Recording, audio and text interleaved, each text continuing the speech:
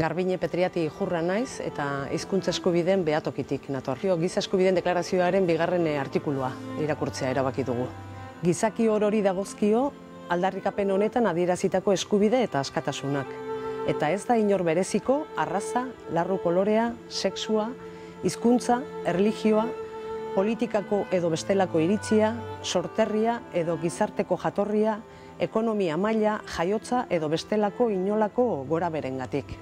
Esan dezakegu hortaz, e, deklarazioaren bigarren e, artikulu honi esker, hizkuntza dela eta ez diskriminatuak izateko eskubidea dugula.